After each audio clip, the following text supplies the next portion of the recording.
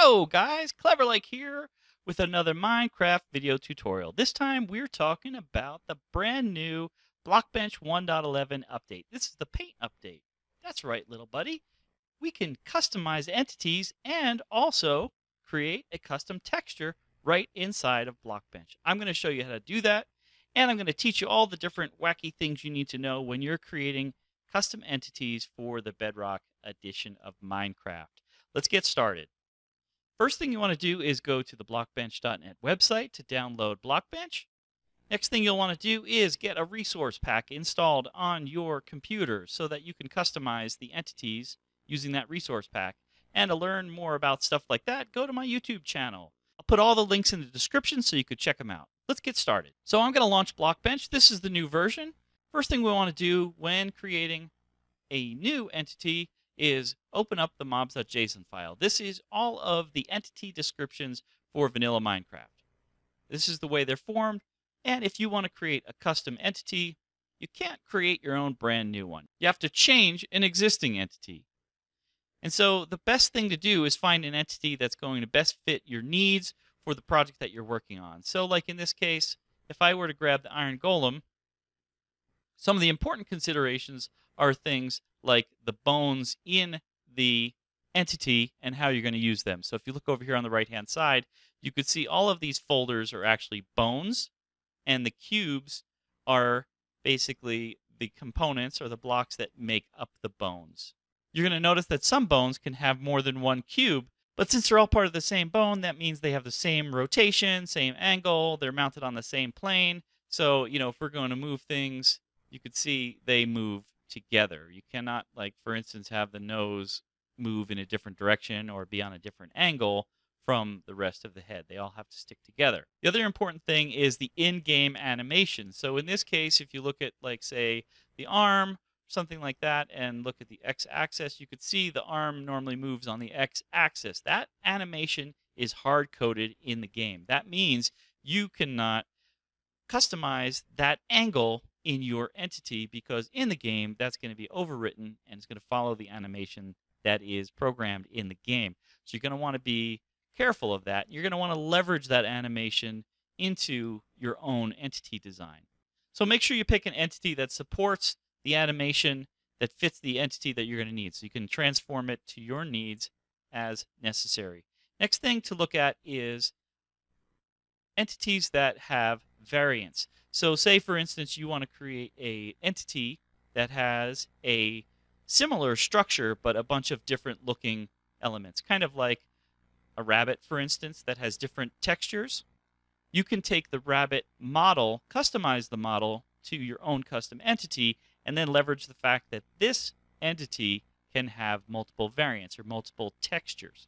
Now, it cannot have multiple models. You can't change the actual bone structure of the rabbit from variant to variant, you can only change the texture that applies to each when you're selecting the variants. Another thing to consider is the fact that we have some models that are actually inherited by others. So for instance, if you look at the humanoid, the humanoid is actually used for a bunch of other entities. Same with a quadruped. So if you make a change to the humanoid or the quadruped, any of the entities that inherit that shape are also going to be affected. So you have to be careful when choosing those. Now, when choosing an entity to customize, my favorite thing to choose is the creeper because I just like to pick on the creeper. So we're going to pick the creeper for this demonstration. As you can see here, the creeper's brought in, looking sharp right there. We've got the full model. We've got the bones with all the cubes already loaded in and we have the texture already on there. So let's go ahead and customize this. What I'm going to do is I'm going to turn the creeper into a little toy helicopter for our purposes here. That means I'm going to have to pick the pieces I want and then customize them and get rid of the pieces that I don't want. So first thing that I don't want is the head. I don't like uh, the way that animation works in game and I don't really need that cube. So I'm going to get rid of it and then when it comes to the legs, I'm not really needing all four legs. I'm going to use one leg for the side propeller and one for the top propeller. So we're going to get rid of those. And now we have basically our two animated elements and the static element, which is the body. So I think we have what we need to make this work. So one thing I'm going to do is I'm going to delete the texture for now, just so I could start with some basic building blocks and then go from there. So let's get started with kind of putting together our little toy helicopter. So in this case, I'm going to need more than one cube for this particular structure. So all I can do is go over here, right click, and then say duplicate. And now I have another cube on that same bone. You can see over here the way they are part of the body bone. And now we've got uh, some more. Another thing I can do is go ahead and click on the add cube with the bone selected and it you see it adds that cube to the bone. Now if this cube ends up down here at the bottom of the list all by itself, that's not good that's uh, probably going to screw up your JSON and cause some problems. If you're lucky, nothing will happen, but what you want to do is make sure that doesn't happen at all. Okay, so what we'll do is make sure that these end up inside of the bone that they belong to. And what I'm going to do is just put these little mounting blocks for our little rotors here. You can see how easy this program is to use. And um, I just Love it. It's nice and intuitive and makes modeling a lot of fun. So let's go ahead and do another one.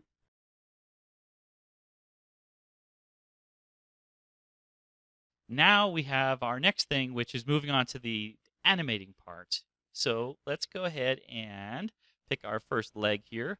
Now if I click on the bone, I can see the pivot location and the axis and the angles that they're rotating on. So if I click on the actual leg here itself, I get this little crosshair up top. I'm going to click on just the bone itself. You see that crosshair right there. And if I move it on the x-axis, you could see this is the way the creeper walks in game. That animation is going to be applied on the x-axis for this particular bone. So what I'm going to do is turn this into a one of the propellers.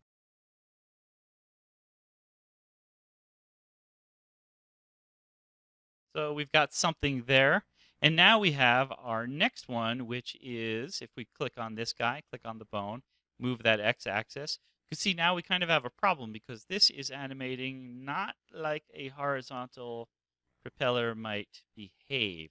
So what we need to do is rotate it on the z-axis. So if we just kind of see here that this kind of moves this way, if I were to rotate it on the z-axis, in the game like this, then when it animates in game, it's going to animate horizontally. So let's go ahead and tweak this here. I'm going to put it back to its normal value. And now we're going to tweak this to become our new rotor.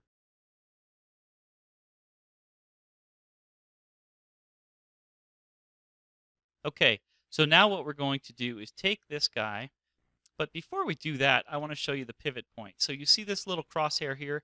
That's the pivot point that this actually rotates on. So that's not really in a good spot because um, we want it to pivot up here. So what I'm going to do is, is move that pivot point. So you can see here I can change the Y. You can see that crosshair is moving now. And so we can go ahead and kind of just keep shuffling it around until it gets right exactly where we need it. Oops. Um, so there we go. Let's take it on the z-axis here, and well, that's that's kind of thick. Let's get rid of that. Let's there we go. Let's go on here and then rotate this like that. Now let's just make sure if I right click here and go to rotation, you can see 90 degrees. That looks good. And so now I need to basically move it into position. So eh, let's see here. If I move the X, it actually moves up and down with the X because I've rotated it, right? So we're going to have to just kind of manipulate this to be in the position that we want. And let's go, oops. There we go. Okay, that looked good. Let's do this here. If I change this uh, width, there we go. Oops. It's a little confusing when you rotate it and then try to tweak it some more. But I think we have something that looks okay. It's kind of silly little helicopter, but let's check it out now. Let's go ahead and check this model in game. So all I can do is go here and say save.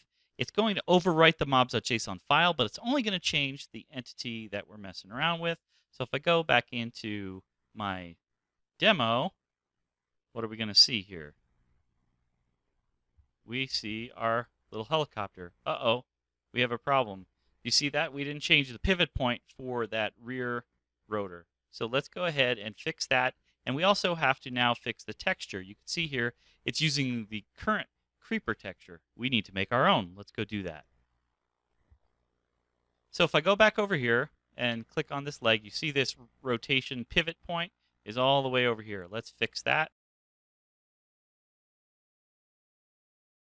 So that is the correct spot for it. So I think we are good now to move on to the texture. I'm going to show you the texture creating. So where it says blank texture, I'm going to create blank. And I'm going to say creeper. And generate template, clear uh, or transparent background. And for the resolution, I'm going to do 16, which is kind of like that standard Minecraft resolution. And then I'm going to say confirm. So right now in this case, our, our texture is a bitmap that's saved in memory. And we can go ahead and start using the great new features of Blockbench 1.11, the paintbrush. So first thing I'm going to do is I'm going to select the fill. And I'll pick like a red color.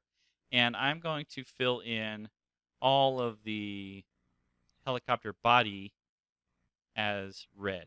So one of the things I like to do also is sometimes just hide some of the other bones that I don't want to accidentally paint on because whatever you click on will get the paint. And the way the fill works, it doesn't work kind of like a flood fill that has a threshold. It just fills in the entire face. So you have to be careful. And here we go. All right. So there's our red helicopter. Now let's go ahead and hide the body. Hide the body. Uh, let's let's be careful how we use that term. Hashtag hide the body if you've made it this far. Um, people might question you, but you know it's fun. So let's go ahead and get these propellers on the rear, or all the propellers. Let's turn them yellow. So I'm going to start turning everything yellow here. Looking good and just kind of rotate things around. I'm just clicking on these sides and filling in the entire side with that color. So that's what that fill tool is doing for us. And these are needing to be done as well. So I think we're all good there. And if we turn the body back on here, looks like we have a little mishap so if I hold Alt and click, I can pick up the color because this palette, there's no palette of saved colors here. It's just a new palette selector. So like an eyedropper tool would be Alt click to pick up the color and then you can go ahead and use it that way. So it looks like we're pretty good here. Let's go ahead and do some more tools here. So the next thing I want to do is show you the noise tool. So the noise tool allows me to say, for instance, make this a little bit darker here and then make the size a little bigger, change the softness a little bit. Same thing, I'm going to go through and uh, hide the legs this time, and then draw with a noise tool on here to create a darkness on the helicopter. See how that works? That's kind of cool. If I make this a little lighter, I could do something like that on the bottom. It's kind of just going to town, isn't it? I'm, I'm going a little crazy there. Let's see if I make it even lighter, what happens. Wow. That's kind of cool. Um, so there we have it with the noise tool. You could change the softness or the opacity and also the size, and that kind of makes it more scattered. So that is a great tool for creating that traditional Minecraft texture real easily. Next thing I want to do here is reduce the size a little bit more, make this white, and let's try kind of creating a little cockpit window.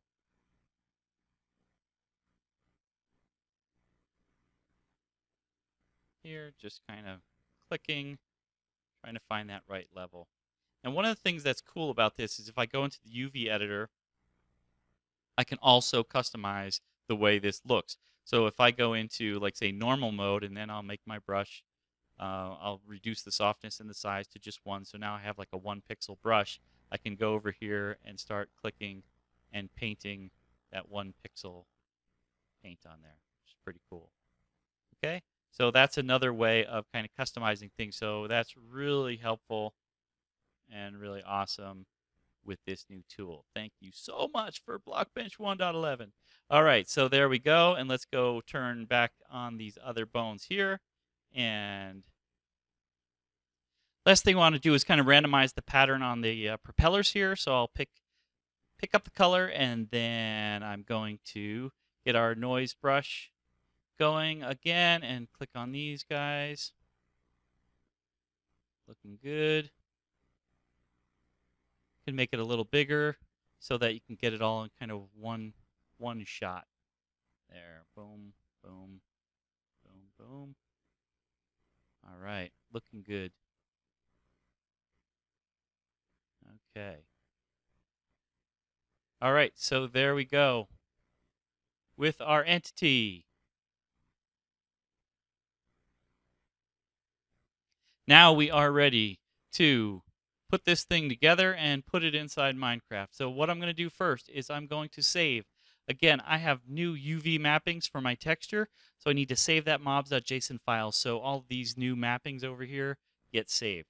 And remember, it just overwrites the part of the mobs.json that you changed. And now with the texture, important thing with the texture is that we've been working with texture in memory and we need to now export it as a file. So if we go right click on here and say export, we have an option to export it as a file.